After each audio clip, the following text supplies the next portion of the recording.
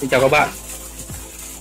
Ờ, Tôi đang có ở đây chiếc thùng lọc Samsung CBF CBF 350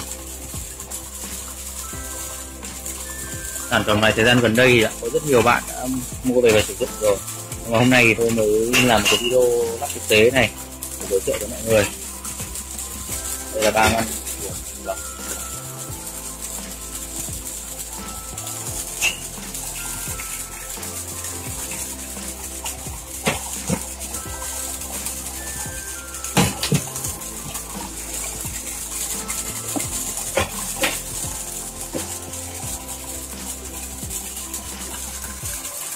Ở trong này thì tôi đang cảnh chiếc đèn UV ở, ở đây nhé ở này, này. Bật đèn UV này.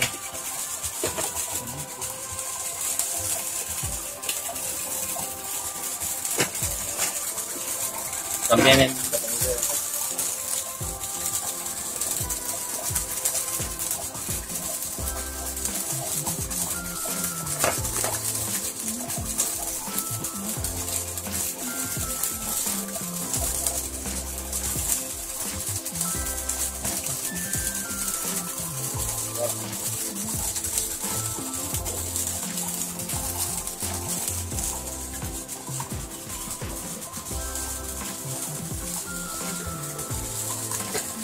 Nước chảy rất mắt. Ờ, hồ này thì ước chừng thể tích rơi vào khoảng độ 8 khối.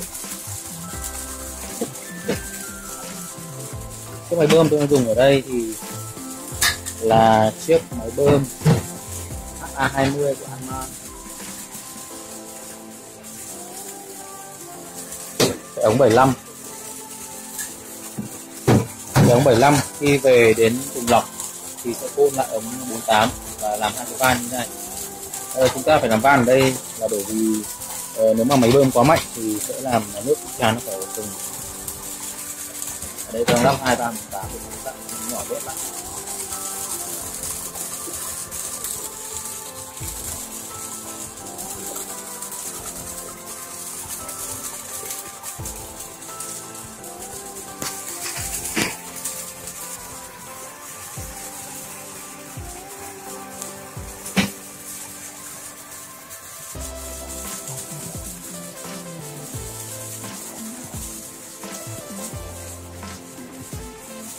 chụp máy bơm HAS 20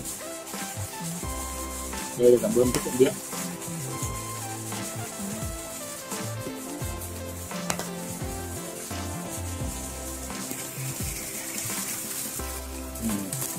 Còn bên này là dàn lọc chế. Cái này đang dùng một chiếc máy bơm Litech AP 5006 chạy ống 27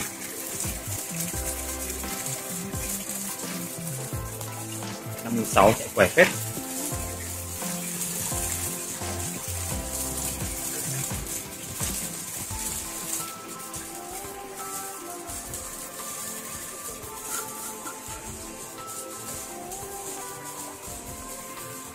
Chúng ta sẽ trở lại với chiếc thùng lọc ngoài kia. Đây là chỗ để đấu nối đường nước vào này. Ở đây chúng ta có hai đường ống 48 bên trái, bên phải dưới này có thể nó sạc cát ở đây không không đấu. À, ở đây khi nào cần thì gia thủ sẽ mở cái bóng sạc cát này ra và xả nó trực tiếp ra đất ở đây luôn. Nên là không cần các bạn nữa HS20 tiếp lại đồ để rất mắt.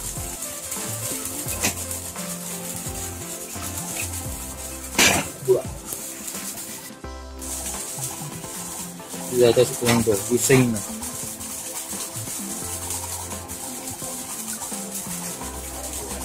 Đây là men vi sinh mà hãng san san đã cho đã sẵn trong cái thùng.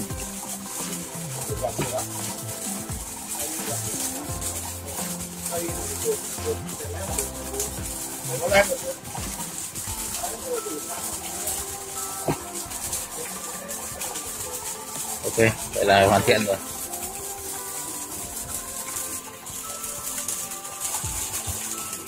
Ừ, video đến đây là kết thúc. Mọi người nếu mà có câu hỏi nào thì có thể comment ở phần ở phía dưới nhé cảm ơn.